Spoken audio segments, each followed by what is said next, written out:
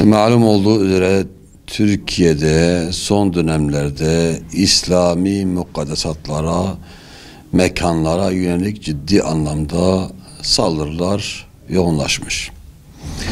Ee, Özellikle sosyal medyada İslam şeriatına yönelik çok kirli ve galiz ifadeler, Fatih Camisi'ndeki imama yapılan saldırı ve en son Diyarbakır Fatih Camisi'nde yaşlı bir adamın çocuklara yönelik bıçaklı tehdidi öylesine geliştirilmiş şeyler olarak görmek mümkün değildir.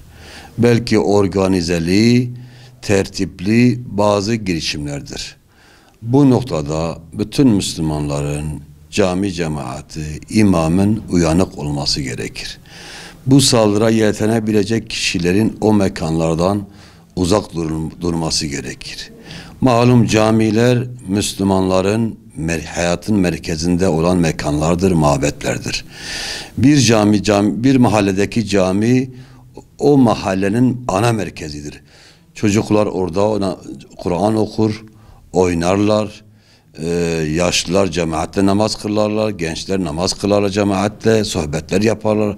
Hatta İslam'ın ilk dönemine girdi, gittiğimiz zaman Peygamber Efendimiz sallallahu aleyhi ve sellem camileri toplanma merkezi, hadis halkalarının olduğu, tefsir halkalarının olduğu, fıkıh halkalarının olduğu, hatta savaş kararının aldığı mekanlar elçilerin kalbı edildiği mekanlar şeklinde kullanılmıştır camiler, mescidler. Onun için caminin birçok fonksiyonu vardır. En büyük fonksiyonu da ibadet ve ilimdir. İkisi beraber. Ondan dolayı elbette çocuklarımız hele bu üç aylarda bir birkaç gün sonra bu ayın sonunda malum Şaban bitti, bittiği gibi Ramazan'a da gireceğiz. Camiler daha yoğunlaşacak. Ve çocuklar elbette gürültü yapacak, elbette koşacaklar, elbette gidip gelecekler. Cemaatin buna mutlaka tahammül göstermesi gerekir. Çocukların kendi yanlarına alıp onlar da namaz kılmayı öğretmesi gerekir.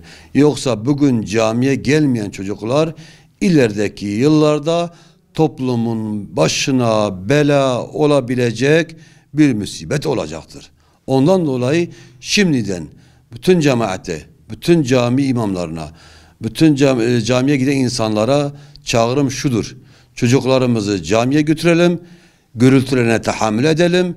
Yanları, namaz kılarken onlarını yanımıza alıp onlara da namaz kılmayı öğretelim. Bu şekilde yaparsak kendi geleceğimizi elbette garanti altına almış olacağız.